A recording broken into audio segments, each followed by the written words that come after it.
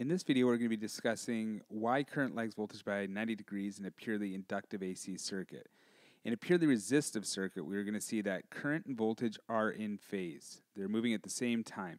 But in a purely inductive circuit, the current lags voltage by 90 degrees, and so this video is going to show us why. Let's take a look at a purely resistive circuit first. Now in a purely resistive circuit, we're going to find that our voltage and our current are completely in phase with each other. Also, we're going to find that our source voltage there is going to be the same or in phase with this voltage across there. And that is because of the current and the resistor here. Now, when I mean by they're in phase, let's take a look at the two sine waves here. We've got a blue one, which I'm going to call my applied voltage, or also my, actually we'll call it this voltage here, my resistor voltage. And we have my current. Now, as the voltage goes up and down, you'll see that my current goes up and down at the same rate. They cross the x-axis at the same time. They're both going down here, and they're both coming up there. Now, the volt drop across the resistor is a product of the current, which is we've seen as this orange waveform going across this resistor, which gives us the voltage. This is Ohm's law, is E is equal to I times R. Now, when we get into an inductive circuit, this doesn't hold true because we have no resistance in that circuit. Now, when we're dealing with a purely inductive circuit, things are going to get a little funky here. Now, before I even discuss current, let's discuss this guy here. This E is equal to negative L delta I over delta T. This has been covered previously in a previous lesson. But what's happening here is, let's say I've got this waveform. This is going to be my applied voltage. So this waveform, the red waveform, that's going to be this voltage here. That's my source. It is going to induce a voltage on my inductor here because there's no resistance that is exactly the opposite of it. And that's where this formula comes from, which we've discussed before. So I have E is equal to negative L. The L is the inductance or the millihenries of this inductor. And the delta I over delta T, that is my rate of change. That is how fast my current is changing.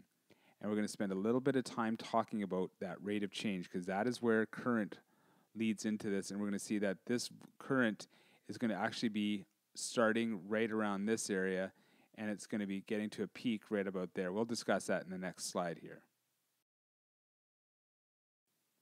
Okay, before we get back to analyzing those voltages, let's discuss this whole rate of change idea here.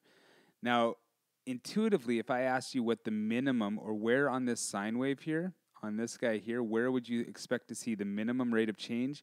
Your gut's going to tell you at zero. Your gut's going to tell you zero amps is where I see my minimum because zero is minimum, right? However, that is not true. Rate of change is how when is it not changing? So if you look at this waveform, if we go up and say right around here, we can all agree that current is changing. Well, when that happens, we get to the peak, right to the top of the waveform here. It gets to a certain point where it's not changing at all. It gets to the top of the mountain there, eh?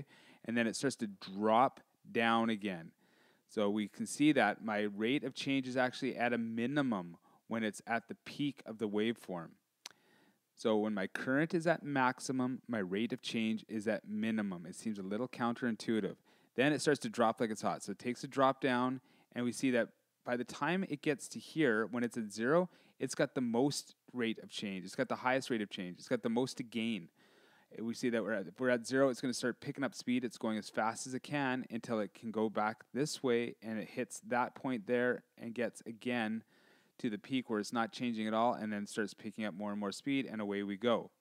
So the thing you need to remember from this is when your current is at zero, that means that its rate of change is at its maximum. When your current is at its maximum, that is when its rate of change is at its minimum.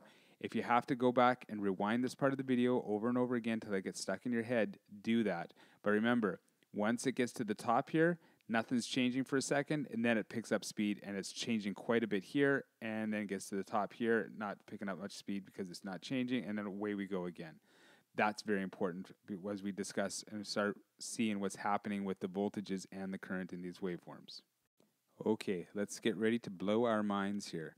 Now we can't forget this formula. E is equal to negative delta, sorry, E is equal to negative L delta I over delta T.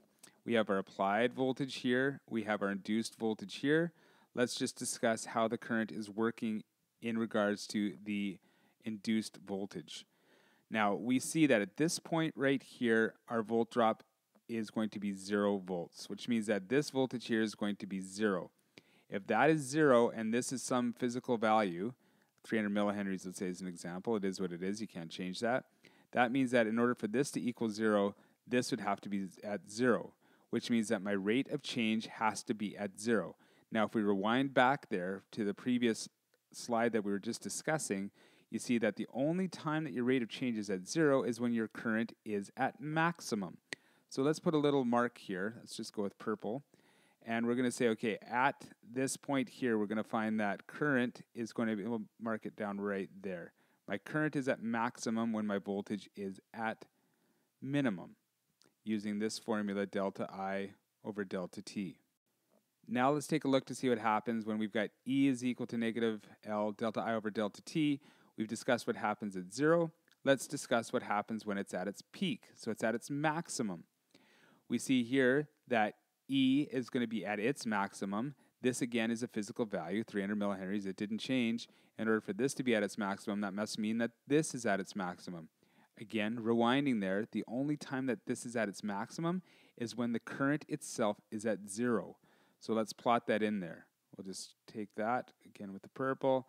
So we got a maximum, we got it right about there. So we're crossing that axis there. Again, moving along, as we go through here, we come back again and we're seeing that this is at zero. The only time that that can be at zero is when my rate of change is at zero. The only time my rate of change is at zero is when my current is at maximum. So we're going to plot that out there.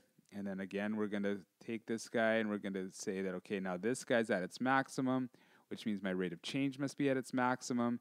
If my rate of change is at its maximum, my current must be at its minimum. Let's plot that in right there. And then we get back to this part here. And then I'm going to do a really rudimentary poor drawing here. I'm going to graph this out here. So we got this guy's going up like that, back down like that, and back there like that. Not really matching up with the line there. Now I'm going to progress the slide here that I fixed up, and you'll see how this all is playing out now. But before we progress, we can start to see already that before when we discussed our current and our voltage in a resistive circuit, they crossed at the exact same time. But we're starting to see here now that when our voltage crosses, our current does not cross. It's doing something else. So I'm gonna now I'm gonna progress here, but you're starting to see that these guys are out of phase with each other. This guy crosses, but then this guy crosses later. This guy crosses here, and this guy crosses later. And uh, there's a relationship that's formed that way. So let's go on to the next slide. Okay, as promised, I've cleaned it up a bit here. Now I've kept my applied voltage here. That voltage I'm keeping here because this relationship we're talking about is in regards to the applied voltage. The red is going to stand for my applied voltage. The purple is going to be my current. Now we saw that when my voltage was at its maximum, my current was at zero, right? So we've got this happening here. Then when we have my voltage is at zero, my current was at its maximum, and away we go. So they don't cross at the same time. In fact, if you went through this and counted out your uh, divisions here and found out what these guys are displaced by, which is another course entirely, you're going to find that this guy here is leading this guy here by 90 degrees, which goes and shows us that our voltage leads, because it's crossing the x-axis first, it leads the current, which is our purple here, by 90 degrees. Our applied voltage in a purely inductive circuit leads our current by 90 degrees. Another way to say that is we could say that our current lags our voltage by 90 degrees. And that, gentlemen and gentlewomen, is why current lags the applied voltage in a purely inductive circuit by 90 degrees.